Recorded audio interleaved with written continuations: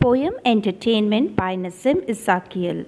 Nissim Ezekiel lived from the year 1924 to 2004.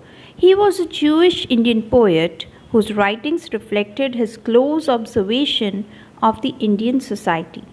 Some of his well known poems are The Night of the Scorpion, The Professor, and Enterprise. He was awarded the Sahitya Akademi Award and the Padma Shri. The poem Entertainment captures a familiar scene in most Indian cities a street show of performing monkeys dancing to the beat of the quavering drum. The monkey showman in the poem Entertainment represents poor rural entertainer who sustains life in utter hardships.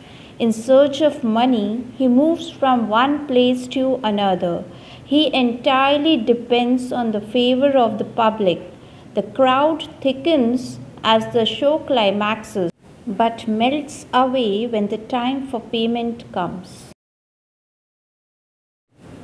The monkey show is on. Patient girl on haunches holds the strings, the baby in her arms. Two red monkeys in red and purple pantaloons prepare to dance. Crowd collects, naked to the waist.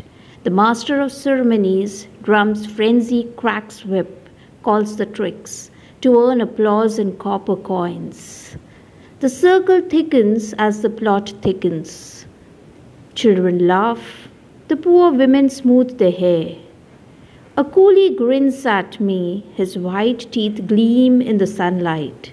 Only the monkeys are sad and suddenly the baby begins to cry.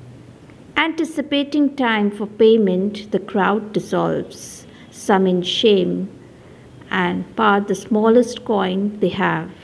The show moves on.